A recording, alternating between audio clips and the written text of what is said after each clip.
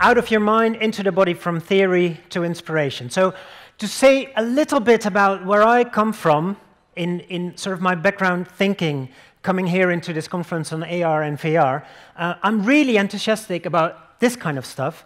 Um, so this is an experience where you're dropped from a plane and then you are in a parachute and birds are flying across your face and so on.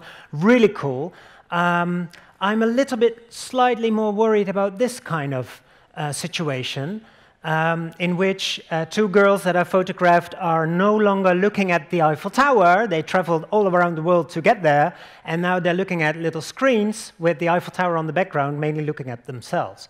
Um, I'm, I'm not totally negative about it, but I'm slightly worried about it.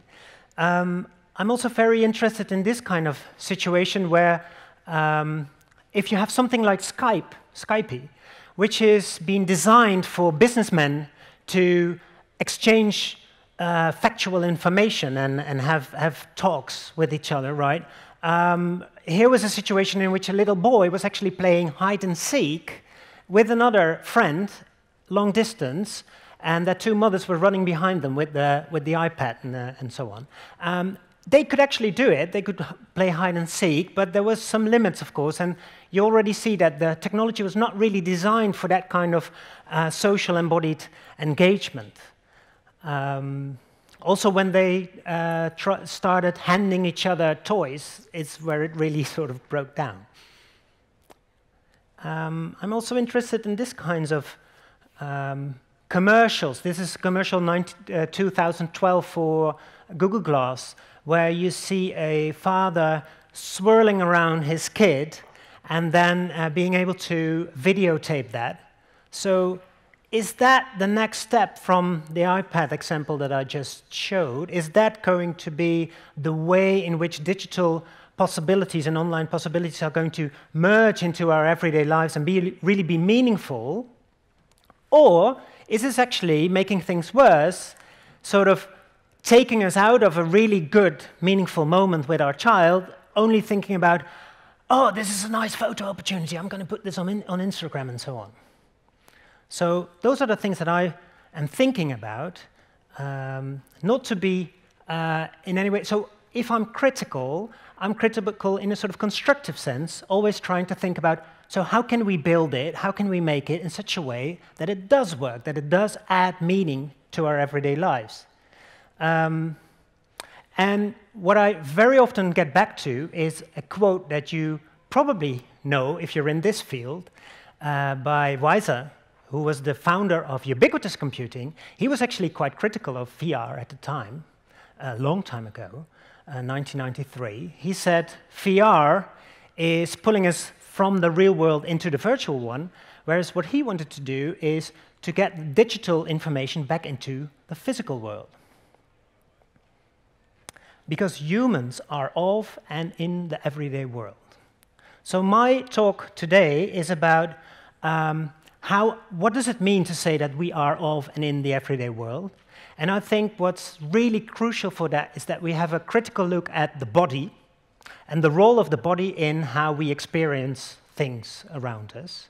And then the next question is how could you add technology to that in such a way that you don't break things, but you sort of add to them?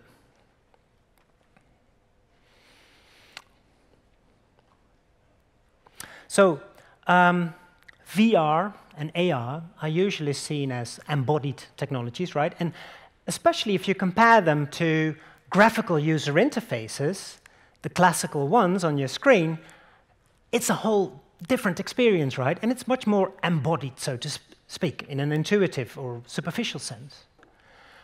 However, when you look more deeply into it, um, it might actually be quite problematic in the, in the way that Weiser said in the previous quote. And so I've Actually, I've been working much more on, uh, not on virtual reality at all, a little bit on augmented reality, but mostly on designing physical things that are also interactive. So smart objects, uh, physical spaces, tangibles, um, Internet of Things kind of constellations in your environment, in your physical world, right? So from that, I think, and using all kinds of embodied theories and philosophies that I've sort of drawn into this design world, I think I have some ideas about what it means to be embodied in the world and why that's important for our experience and how we generate meaning. And I hope today to show, to, to sort of present that back to you and, and together think about how could we make that use, how, how could we make that useful for VR and AR as well. So these are some of the things that I've been doing uh, on, uh, mainly right now, I'm interested in designing uh, interactive um, technologies that help people with cognitive disabilities in their everyday lives. So um, that help people manage activities or uh, manage their emotions and so on. Uh, in different ways using wearables or physical lights, ambient lights in the, in the room, or um, uh, a floor. That's an older project about a creative space in which there was a sort of interactive floor and you could sort of generate and share your ideas. So this is just to give a very short example. I don't have time to go into all, all my projects. Because we really need to do some philosophy right now. Um, we need to think back a little where do our conceptions, our assumptions, and our ideas about VR and AR come from? Well, traditionally, we picture ourselves a mind, so that's us, right? We have minds. And then there's digital information, a digital system, and then the problem for many designers seems to be to make an interface between the two, right? Human-computer interaction. And traditionally, the computer looked like this, a question answer kind of machine, and you had to wait until the next day before the answer came. Uh, later on, it looked like this. Uh, later on, it looked like this, still there. And then at some point, we're now here, right?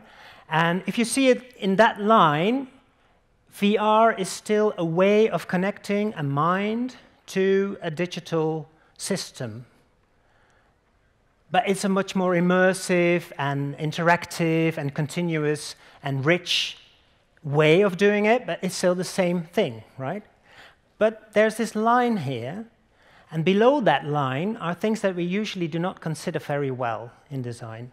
One is the body, the physical body, and the other is sort of the space in which our bodies are physically situated, right? My feet are here on the ground. I put on the goggles this morning, and immediately I started becoming a little bit afraid, right? Uh, can I, can I walk here? Can I, can I go there? Will I bump into things? I saw some nice uh, attempts, and they work quite well and for pragmatic reasons, like making a, making a square, making a space oh, that you already see. Oh, I, I can't go further than this, and so on and so forth. I also saw lots of designers and uh, owners of the, of the demos walking around people, making sure that they don't bump into things. So we need to think more about this. Um, behind that is actually um, one person that has done us a lot of, uh, it's created a lot of problems for us. It's René Descartes, and he was the one that started uh, thinking about the mind as something really separate from the body. So the way I picture it now with mind and body is actually already a conception, right? That we have a mind and that it's separated from a physical body is not something that's uh, necessarily true. It's an idea. It's a theory. And this theory has been designed by René Descartes. He said, the only thing I can sure, be, be, sure of is my own thinking, right? All the rest of it could be an illusion. Um, the only thing I know for sure is that I'm thinking, I'm experiencing this, this, solution. So my mind is the only thing I can really sure of.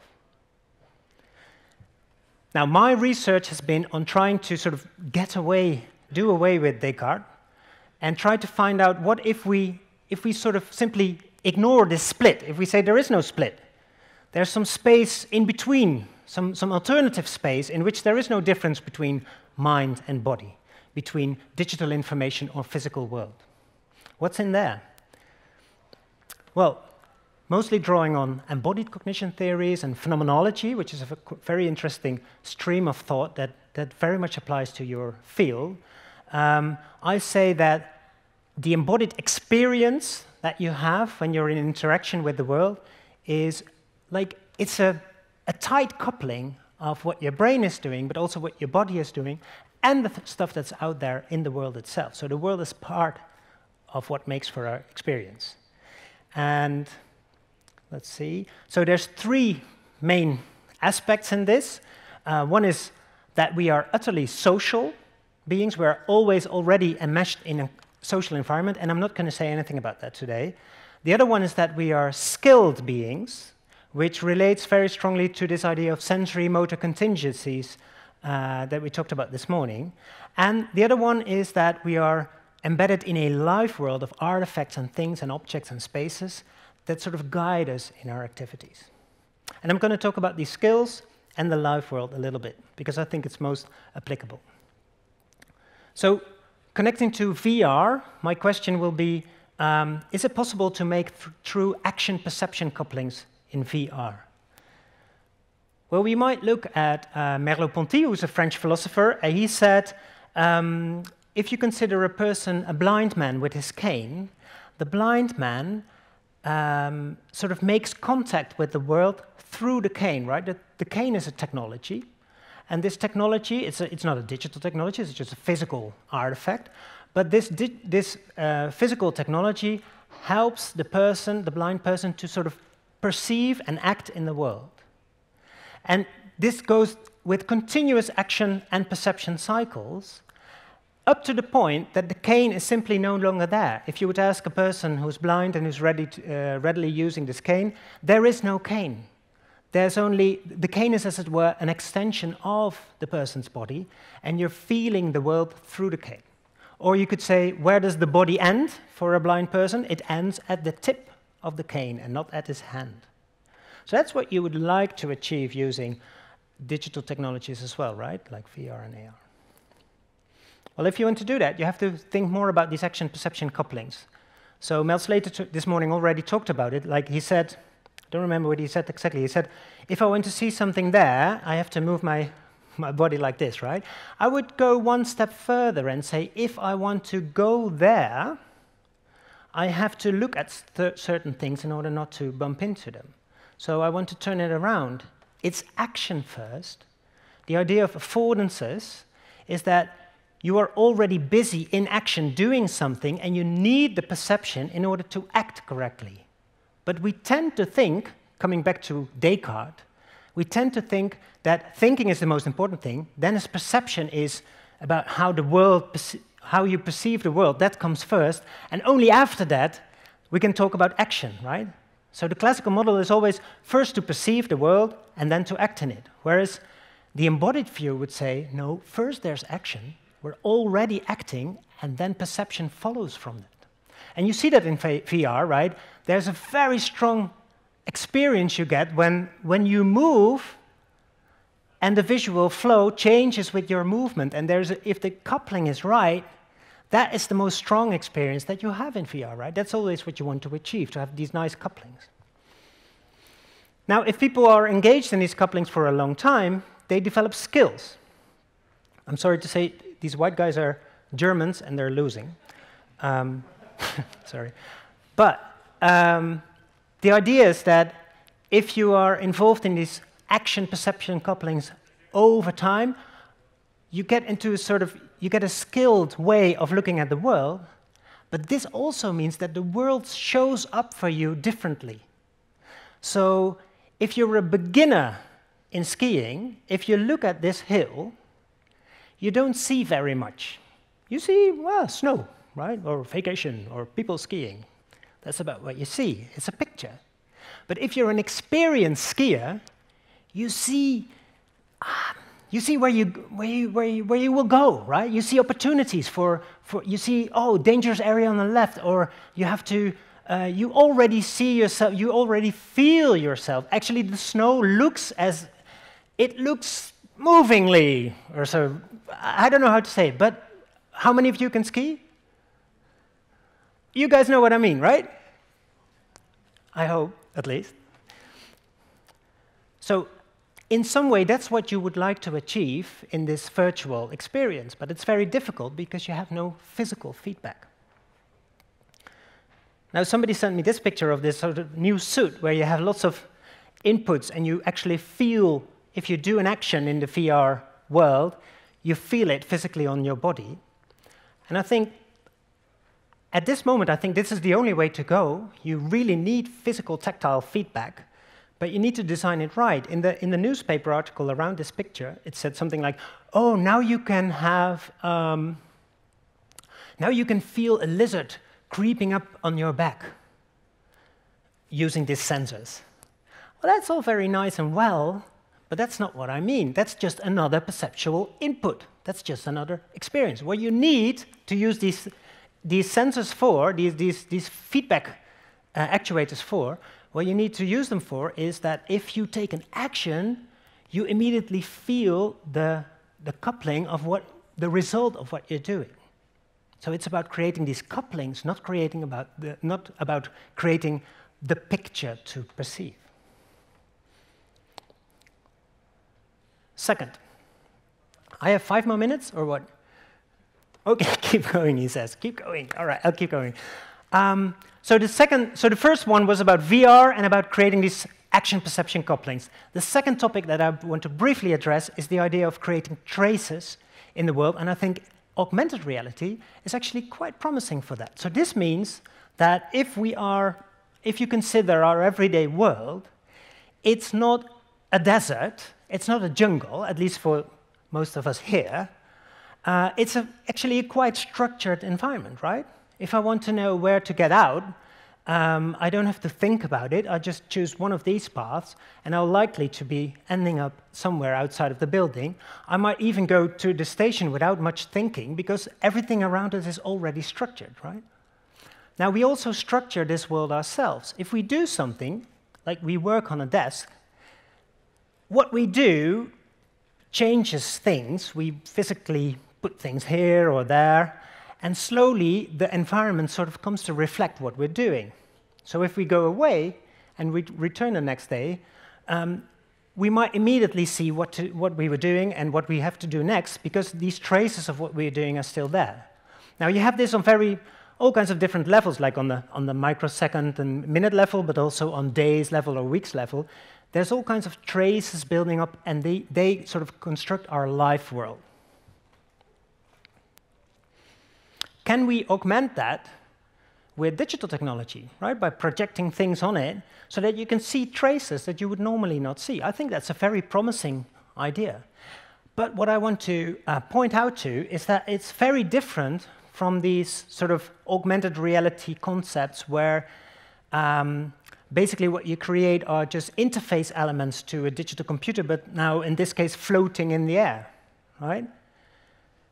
This example is from The Sixth Sense, right, from MIT. You might have seen the, movie, the TED talk and the, and the, the movie. Quite a radical breakthrough years ago. Uh, but uh, pictures like this made me laugh a little. Like, what, what am I going to do with buttons on my hand, uh, it's no use at all, right? There's no, this is an utterly senseless use case. And one of the reasons behind this being a senseless use case is that it's, it doesn't really think about what objects in our environment actually do for us in thinking. We don't need operators or control buttons to send requests for a computer in our environment. We need um, we need to be able to build up a life world, right, which goes through these traces. So we need to think more about augmented reality as a tool to, for people to create their own structure over and over. It's a, it's a circle kind of thing, like that, just like the sensory motor couplings. I'm always thinking in circles rather than in input-output as a linear thing.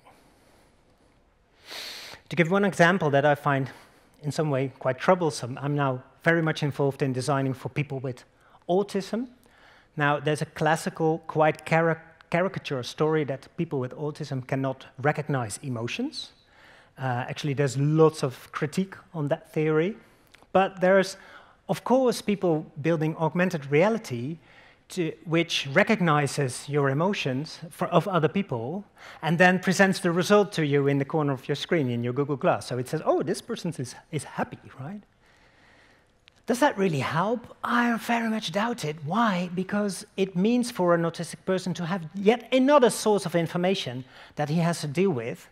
And he has still to implement this linguistic information saying happy to thinking like, what do I need to do with this knowledge, right? Do I now need to also smile or whatever? It would be much more interesting to try and think about how could we have this online social, like this mimicry that Mel talked about this morning, about how you were sort of mimicking and copying and how your bodily position is responding to the bodily position of another. Could we use technology to help people do that? That's much more interesting than this. All right. So I might, might have been a little bit critical. This is an old comic that uh, my father had uh, up, pinned up his wall in the 1980s, sort of a doomed future vision of uh, a world that we don't want to uh, live in. I'm, I'm not so pessimistic at all. I'm, I'm quite optimistic, and I think that technologies like AR and VR can really add meaning to our lives.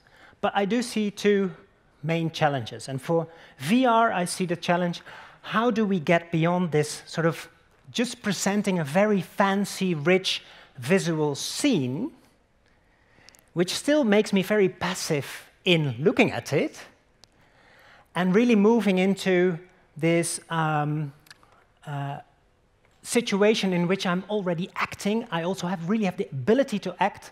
I can really feel and experience the result of what I'm doing and making it into a, a loop of action and perception. And for augmented reality, I do see great, great promises in using it to, for people to build up a life world of traces that makes the world even more easy for them, maybe even personalized, right? I would see structure in this room that's really useful for me, but you wouldn't seeing it, so you would be bothered with it, and so on. Lots of possibilities for AR, but we need to move beyond using AR to sort of present a, a 3D interface panel with which I can activate icons and buttons, right? So those are the two challenges that I see, and um, I hope to have given you a little bit of thought, and thanks for listening.